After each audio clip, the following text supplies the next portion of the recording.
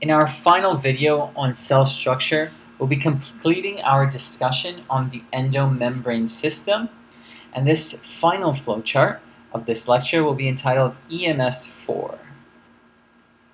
EMS4. And we're going to be devoting our time just to one last organelle, and that last organelle is known as the vacuole. The vacuole is a part of our endomembrane system. It is a large vesicle that comes from the ER and Golgi. So the vacuole is usually considered a large vesicle originating um, from the ER and also the Golgi. Once again, I want to emphasize that we see a theme here, and this vesicle is a theme of the endomembrane system. Vesicles are membrane-bound structures that help interconnect our system of endomembrane structures so that we can communicate intracellularly. Just understand that there is a whole process going on behind this so that the cell can communicate with itself effectively. Vesicles are a great way to utilize our endomembrane system.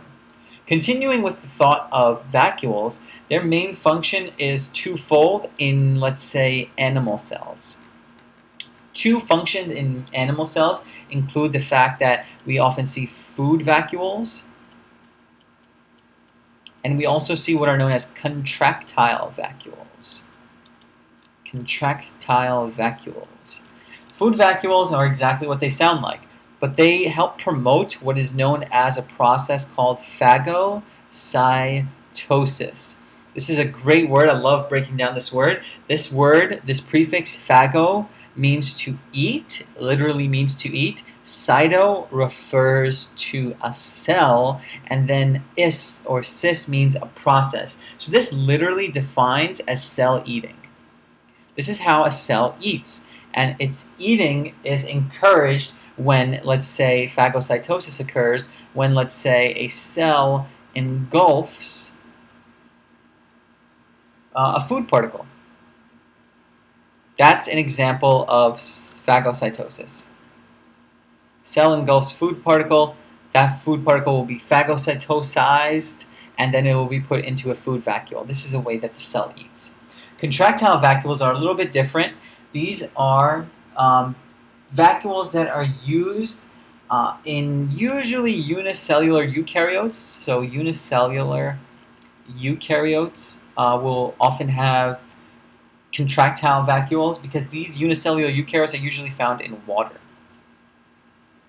And what they do is they use the contractile vacuoles to contract, to pump out excess water. This pumps out excess, all right, H2O. So, in addition to these functions, plants also have a major role and major sort of reliance on vacuoles, and you will understand now why plants sort of grow the way that they grow. So plants use vacuoles for storage first and foremost, and this storage includes storage of waste, it includes storage of water, it includes storage of toxins, and obviously, I don't mean storage in the sense that they're going to keep these toxins forever, but vacuoles provide a place in which you can put waste toxins and water for a, the however amount of time necessary before they are completely removed. So they're a good sort of stepping stone for that process. So basically, plants use it for great tons of storage. In addition, vacuoles are the reason that cell growth happens in plants. And it's a very interesting process. What we see is, step one, a young cell.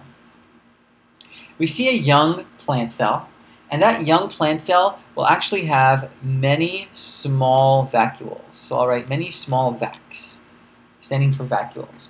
What's going to happen is those small vacuoles, small vacs, eventually will coalesce. This basically means to combine, so I'll write that down coalesce and combine. They sort of join together. They become one cumulative, one cohesive vacuole. And that eventually means that you create what is known as a central vacuole. Central vacuole created. And this central vacuole is what the plant literally adds H2O to, adds water into. And because it's now larger, that central vacuole, this whole is greater than the sum of its parts, that theme again, we actually increase cell size.